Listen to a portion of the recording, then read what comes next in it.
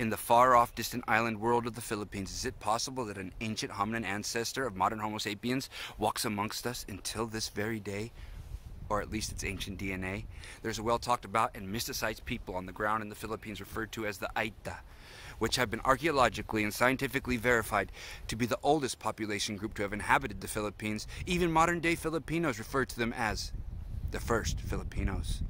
The Aeta are more specifically from the Cagayan region of northern Luzon. The Aeta's migration even predates the Austronesian migration, which is known to be one of the earliest ever verified in Southeast Asian migrational patterns.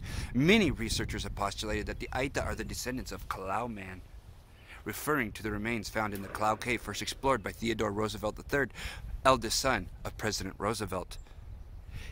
He created the national park system within the Philippines and made Callao Cave National Park one of the first within that system in 1932. In 2007, a team of Filipino and international archaeologists led by Sir Armand Mijares uncovered human fossils.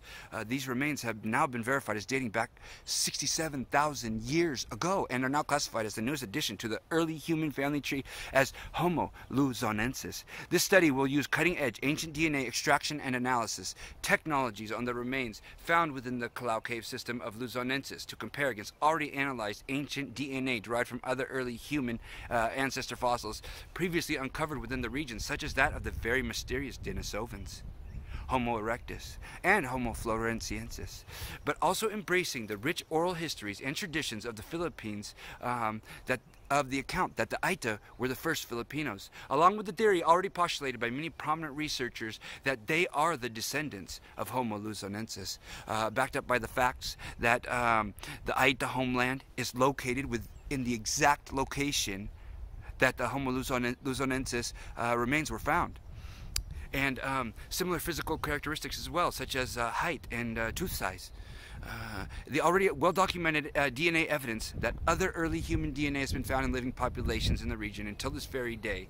Uh, that most prominently uh, of the Denisovan DNA uh, currently found in um, existing populations. We will compare the Luzonensis DNA to that of the modern Aeta as well to determine if the mounting scientific evidence in cohesion with the rich oral and written traditions in the Philippines is correct, but also to help provide clarity on a still very mysterious time in early human history. This theory theory that great diversity amongst early humans was present in ancient times, uh, interbred and interacted with one another, ha has already been verified in other cases. We must ask ourselves now is it possible? Does Luzonensis walk amongst us? Or at least, its DNA?